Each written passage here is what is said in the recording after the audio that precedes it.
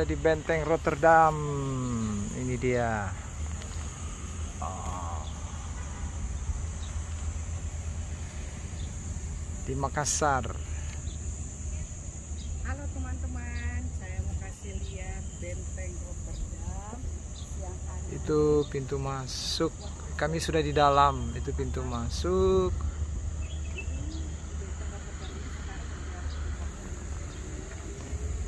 Museum Lagaligo.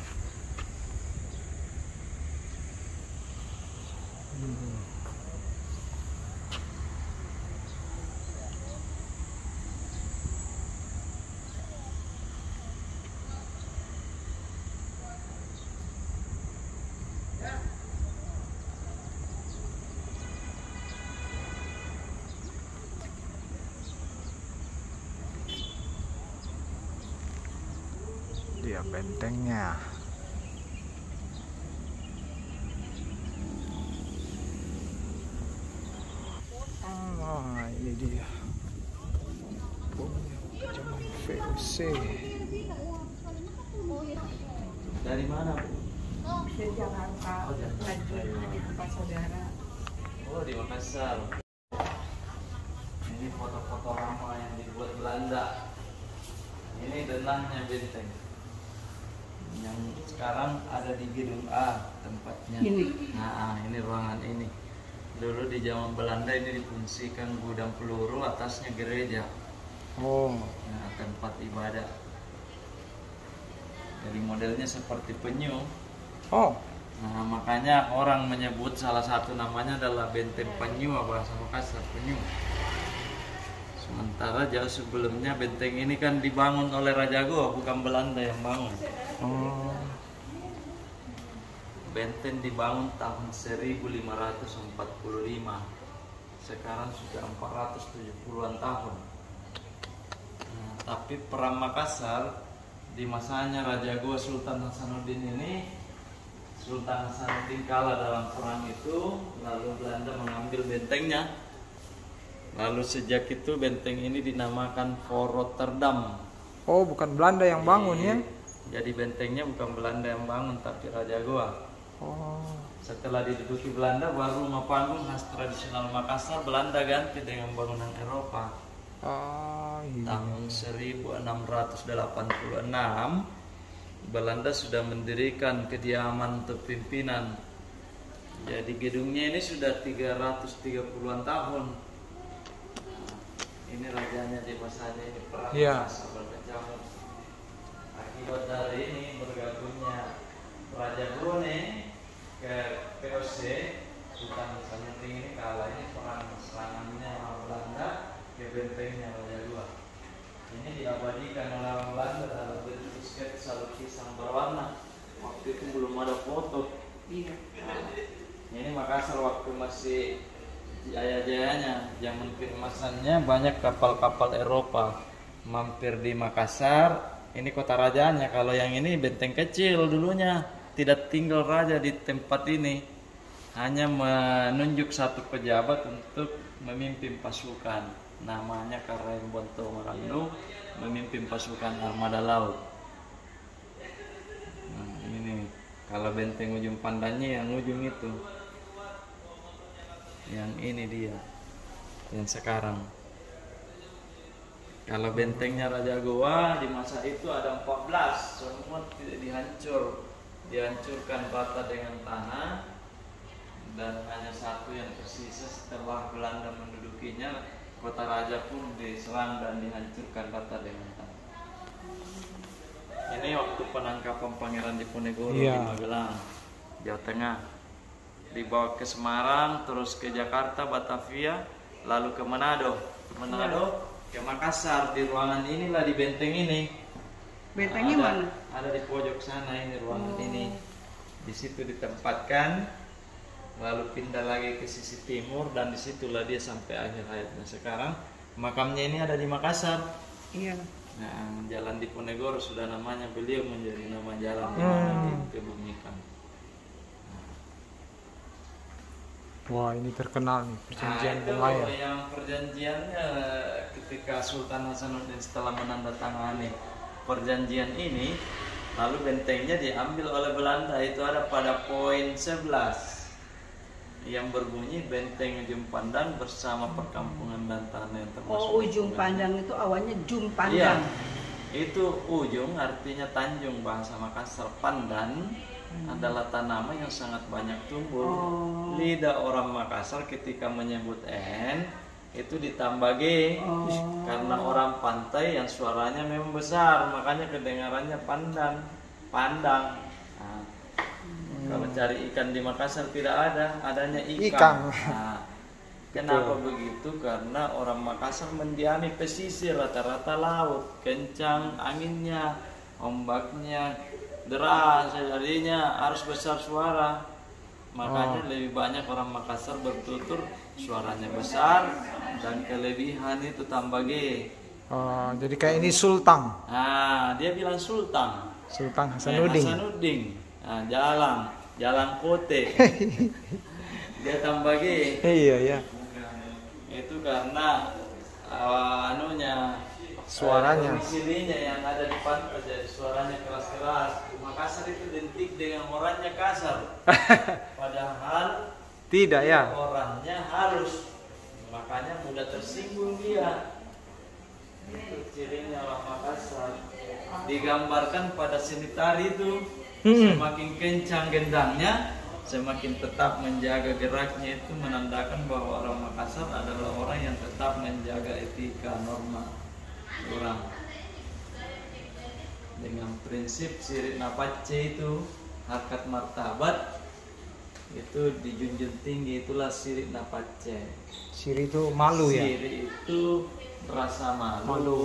Pace itu adalah empati yang kuat terhadap sesama. Oh. Jadi kegotong royongannya, kebersamaan, persatuan kuat. Jadi dia harus pegang teguh itu filosofi siri napace. Jika seorang yang tidak punya siri, berarti kalau dia tidak punya siri napace, itu seperti hewan. Udah tidak punya Nah, rasa salah malu lagi. satunya harus dimiliki. Kalau tidak ada sirinya harus ada pace. Pace itu rasa Rasa empati, empati. turut merasakan penderitaan sesama. Dan yang paling dijunjung tinggi adalah menjaga harkat martabat itu telah siri Iya. wanitanya jangan dipermalukan dengan membawa lari gadisnya orang Makassar sanksinya itu hukum mati pak Iya ya. Tapi di gitu. Iya, hampir sama. Nah, tapi di Makassar ini lebih terkenal dengan itu. Kadang lebih banyak terjadi akibat perempuan. Sama di Batak juga gitu. Ah. Ini kota rajanya. Bentengnya ini 11 hektar lebih. setengah. Jadi kalau benteng ini cuma tiga.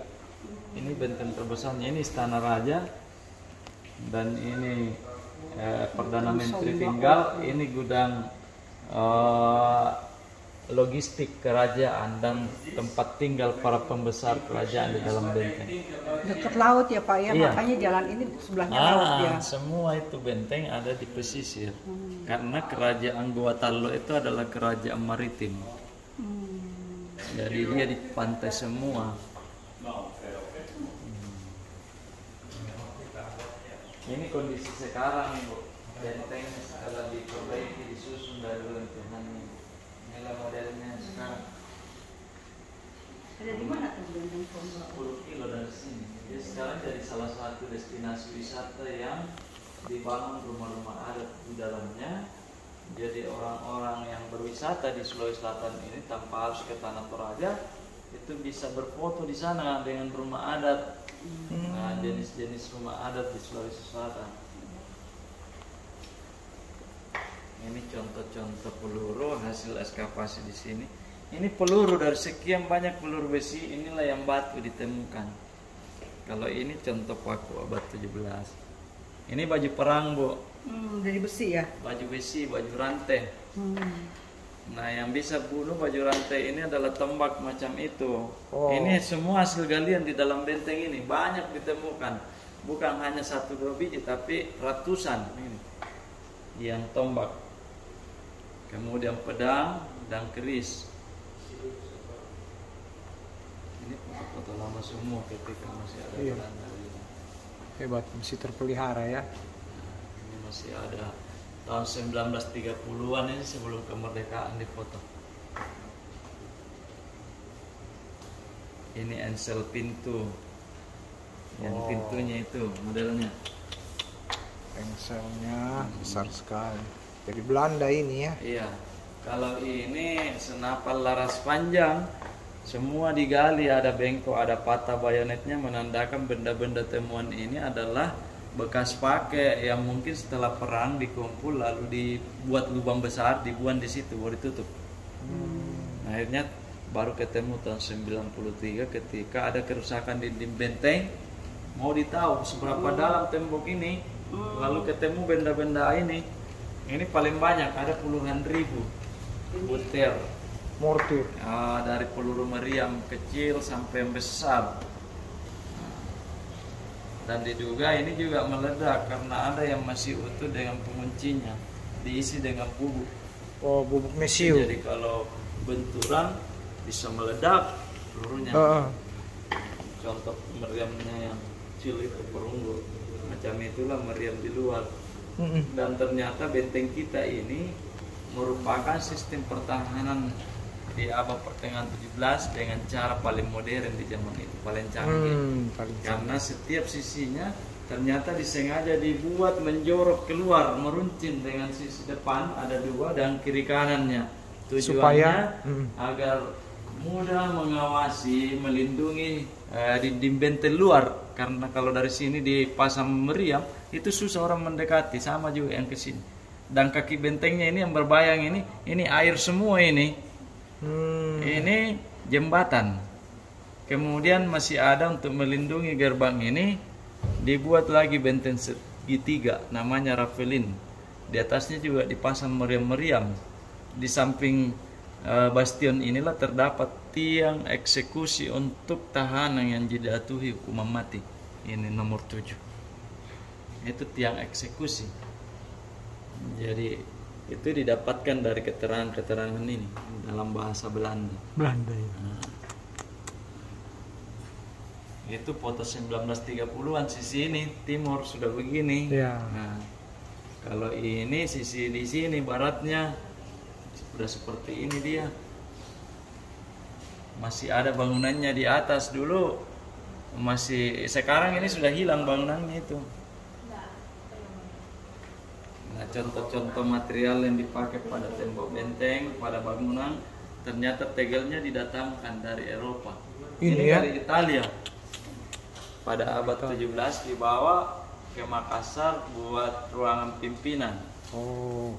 Nah, itu Wow. cahaya katanya kalau center. Wow. Jadi ini rasanya seperti ber AC kalau di ruangan itu. Dingin ya? Dingin. Dingin sekali. Oh. Ini Bapak bisa ke situ lagi untuk lihat di museumnya. Di Nah, dalamnya. inilah model bentengnya yang sekarang kondisinya seperti ini. Kita ada di sini sekarang. Di tengah. Oh, yang tengah. Nah, ini benteng terindah di Indonesia, Pak. Tempat lain kalah ya. Kalah karena berdasarkan eh, kajian dari Direktorat Jenderal Kebudayaan setelah melihat seluruh benteng di Indonesia, ini yang masih paling lengkap dan masih utuh. Yang lainnya banyak kerusakan karena perang.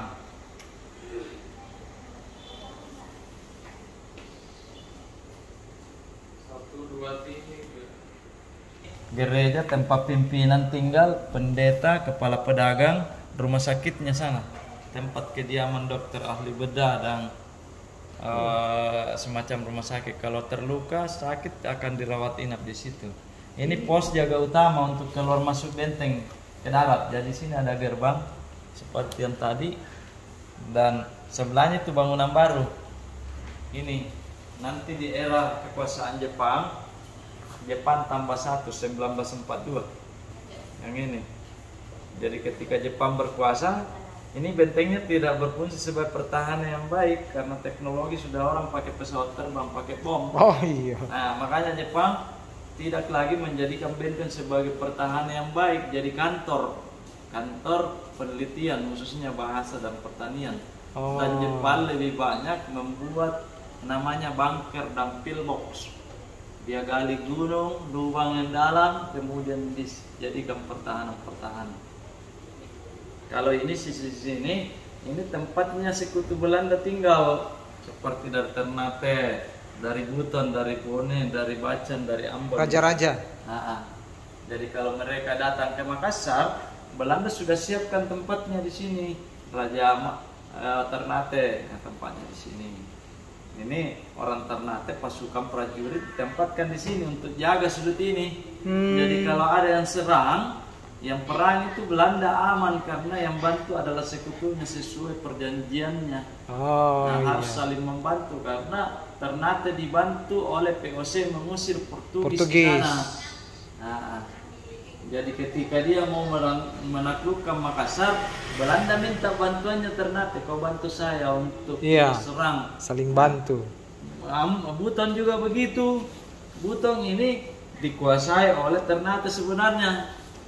Nah, jadi dia bayar peti kerajaannya ke Ternate juga sama bayar ke Goa Talo. Makanya MU-nya dibantu juga sama eh, Belanda untuk me- eh, supaya tidak terjajah oleh Goa. Makanya Buton juga ikut ketika minta bantuannya dihancurkan karena Belanda memusuhi Goa, Buton juga musuhi Goa. Hmm.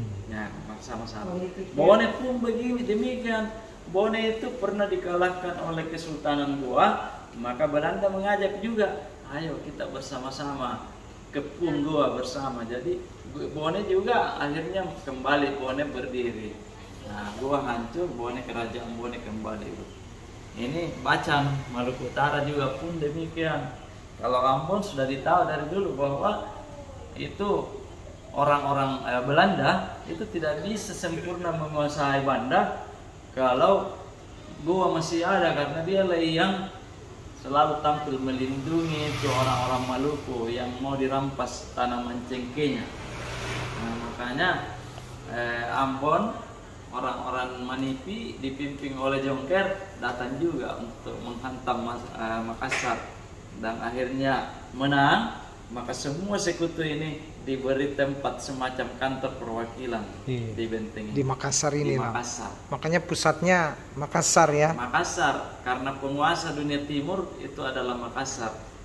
Nah, jadi Di Maluku juga kan dapat pertentangan Belanda dari Patimura. oh iya, Ya, di Maluku Tengah. kan itu perjalanan Kalau panjang sejarah itu. sama Bacan itu kan Iya, jauh. Tapi jauh. kalau Maluku Tengah juga Ah. Belanda nggak bisa. Sama. Makanya bikin benteng kan Ada sana. banyak benteng di sana. di Maluku Dan. Maluku Utara, Maluku Tengah sampai eh, banyak benteng.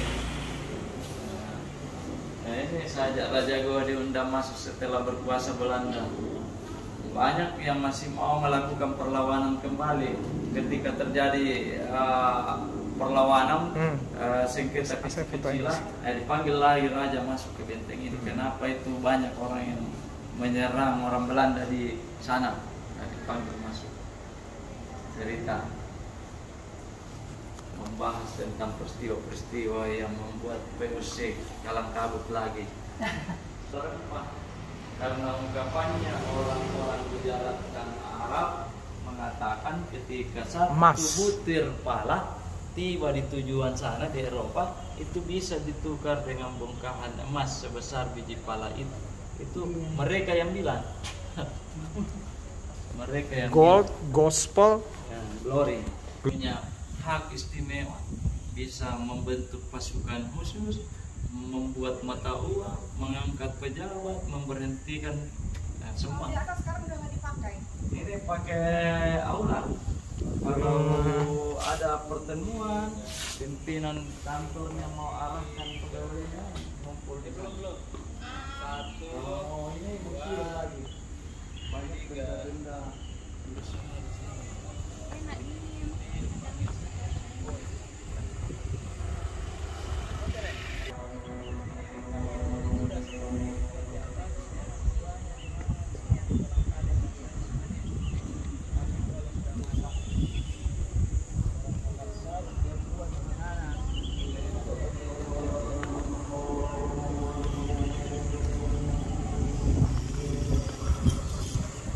Chief, nakaligo.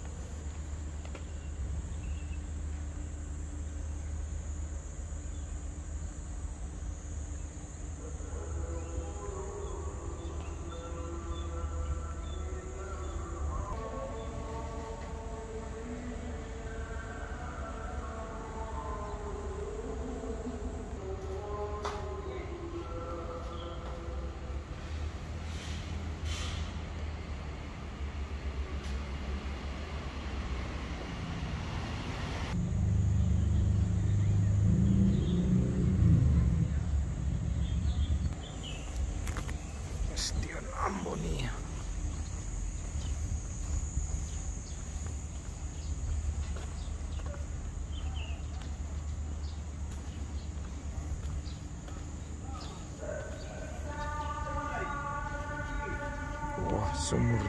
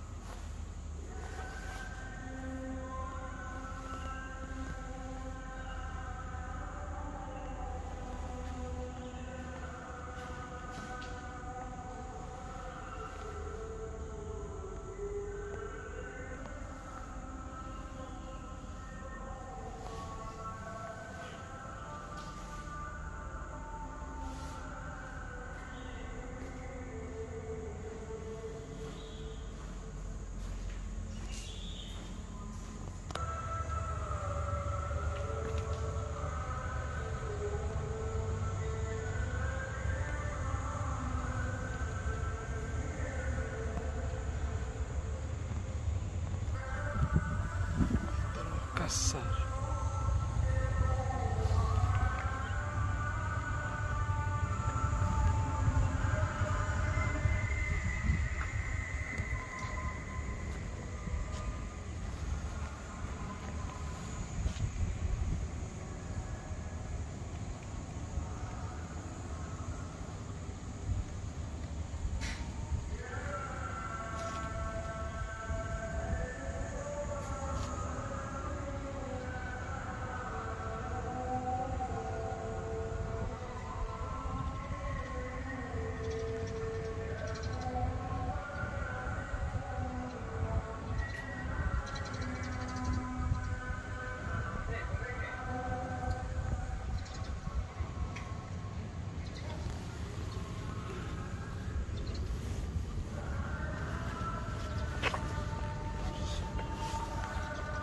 Bastion Mandarsia.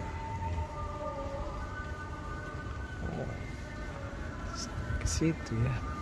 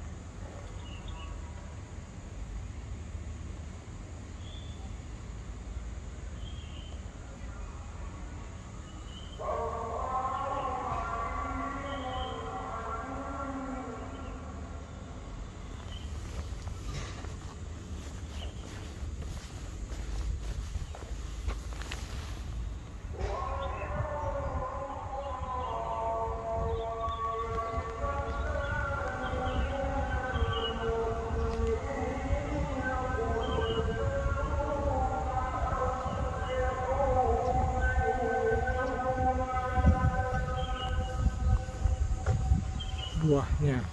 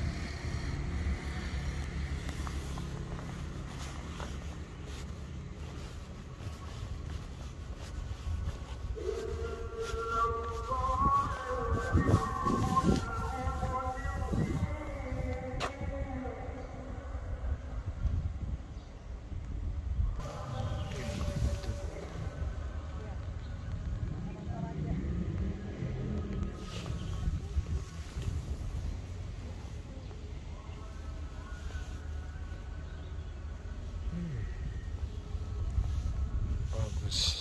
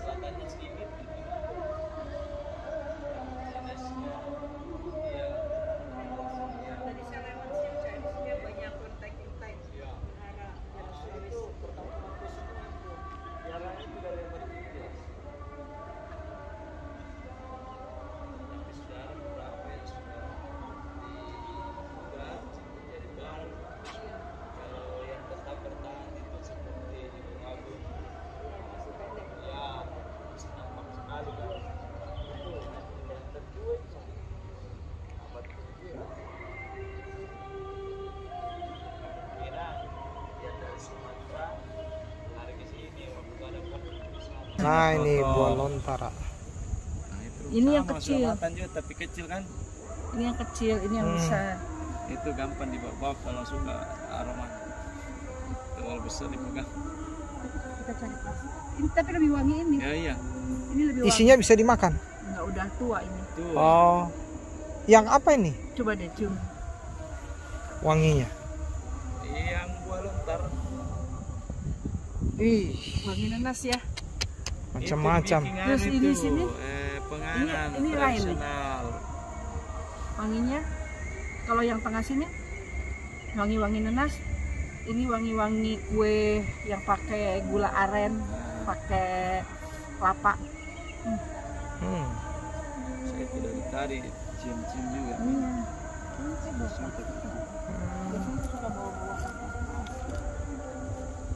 Tunggu. Itu pohon lontarnya ya. Itu dia pohon. Coba cium wanginya. Hmm. Ada bau nanas. Bau pandan, bau pisang. Bau pisang juga ada. Iya, enak wangi. Jadi bisa dimakan yang se yang masih muda, muda. itu dimakan bijinya di dalam isinya Buah lontar. tua ini tidak bisa lagi dimakan isinya tapi dari cairan yang kuning itu warna orange itu bisa dicampur untuk eh, Bahan kue. adonan kue tradisional malah Jadi, tambah harum ya. mendapatkan aroma itu di kue Hmm. itu tinggi tidak saya Hmm. kalau nggak tahu udah kayak aduh tinggi di mengayaan ramai